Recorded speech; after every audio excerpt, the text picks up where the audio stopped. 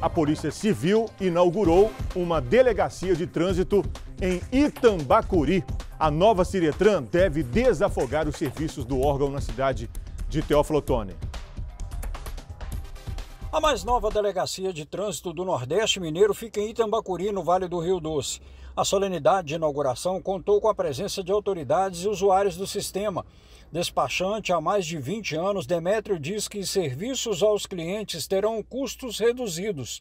As pessoas não precisam mais viajar até o Flotone a 30 quilômetros de distância. Essa viagem todo dia até o Flotone, essa correria atrás, então é, a gente vai ter uma, uma, um, um alívio muito grande nessa demanda, tanto a população como nós despachantes nessa, nessa cidade de Tambacuri e região, né? Porque nós temos aqui São José Divino, Nova Módica, Pescador e Frei Gaspar e, do, e Tambacuri, né? Que tem os despachantes profissionais. A Delegacia de Trânsito em Itambacuri é a 16ª instalada no Departamento de Polícia Civil que atende todo o Nordeste Mineiro. Vai atender uma população de 100 mil habitantes em sete cidades próximas a Itambacuri. O delegado Rômulo diz ter cumprido mais uma etapa do programa de modernização do Departamento de Polícia Civil do Nordeste Mineiro. Ele atende a 60 municípios. Essa descentralização acontece automaticamente? Já está em funcionamento? Ela já foi feita a fase de teste semana passada e com certeza hoje nós já daremos início totalmente todos os documentos das sete cidades. E em relação à estrutura, foi pensado a infraestrutura para atender essa demanda?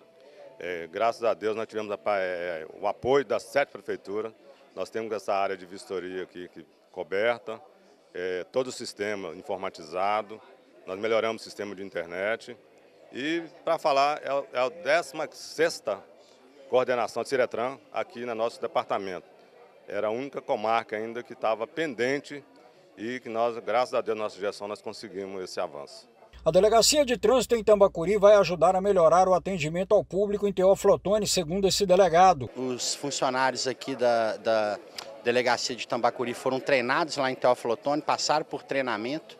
Houve algum reforço também de funcionário da Prefeitura aqui para o doutor Eduardo Gil e com isso a gente espera é, que o serviço aqui funcione da melhor maneira possível. Há cinco anos, esse delegado esperava a inauguração da Ciretran em Tambacuri. Isso será feito com muita parcimônia.